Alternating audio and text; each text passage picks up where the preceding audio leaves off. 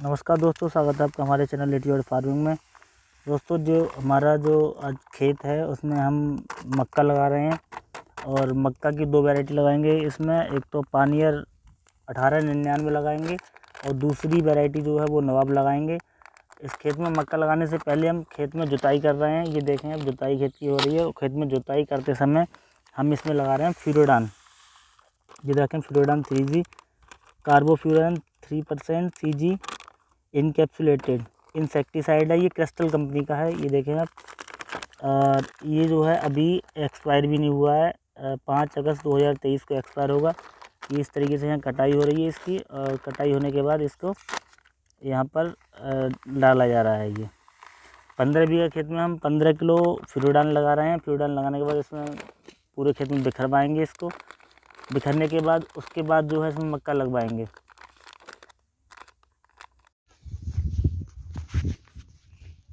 यहाँ पर जो है कार्बोफ्यूरान जो है क्रिस्टल का वो बिखेर रहे हैं। वो बिखेर जो इस तरीके से रहे हैं कि उसको कार्बोफ्यूरान लिया और उसको लेके उंगली से इस तरीके से हाथ से मोटी भर के बिखेर रहे हैं। दिखाना एक बार जरा। हाथ दिखाओ। ये देखें आप इस तरीके से बिखेरा जा रहा है।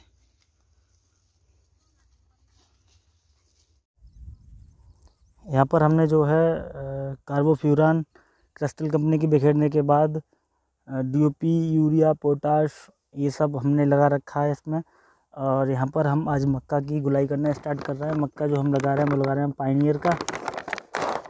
अठारह निन्यानवे, ये देखें आप। पाइनियर का अठारह निन्यानवे बीज है। इसकी पैदावार जो है, हमें सात से आठ कुंटल की बताई बताई है उन्होंने।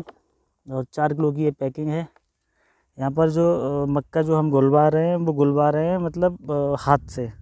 हाथ से मक्का गुलवाने का तरीका ये होता है कि एक आदमी जो है, कोई भी व्यक्ति खड़ा होके और इधर से, इस कोने से लेके उस कोने तक एक सीधी लाइन खींच देता है और लाइन खींचने के बाद मक्का की जो है, पीछे से लोग खुरपी से गड्ढा करके उसमें बीज डालते जाते हैं।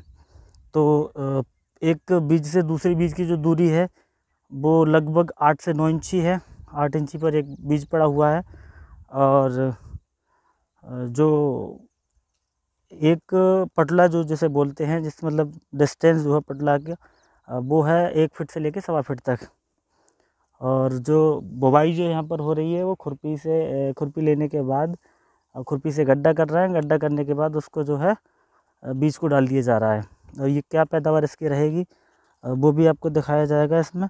ये जो है हाथ से जो हम मक्का लगाते हैं, उसकी पैदावार मशीन के मुकाबले ज़्यादा होती है। तो हम आपको इसके बारे में बताएँगे कि इसकी क्या पैदावार रही थी।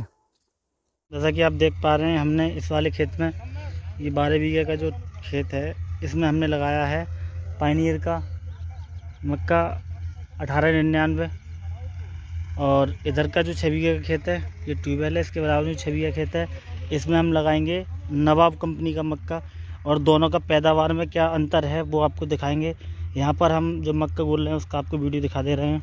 कि मक्का यहाँ पर गुलाई हो रही है वो कौन सी मक्के की हो रही है? यहाँ पर हम जो मक्का लगा रहे हैं वो प्रभात सीड्स का नवाब हाइब्रिड माइज सीड्स ये जो पैकिंग है इसकी वो चार के जी की है और इक्कीस सौ साठ रुपये एम आर पी है ये देखें आप और इसको हम इस छः वाले खेत में लगा रहे हैं। क्या पैदावार निकलेगी वो भी हम आपको बताएँगे। यहाँ पर जो मक्के की गुलाई हो रही है वो इस तरीके से हो रही है। ये देखें आप। इस तरीके से यहाँ पर मक्के की गुलाई हो रही है। यहाँ पर बी एक बीज से दूसरे बीज की जो दूरी है वो लगभग आठ इंची के करीब रखी गई है। और इस तरीके से गुलाई करके पूरे खेत में गुलाई करेंगे। और क्या पैदावार होगी वो भी आपको बताएँगे।